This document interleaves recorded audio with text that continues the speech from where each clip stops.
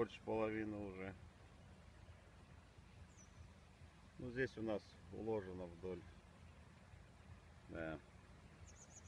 Мешки утонули. Капец.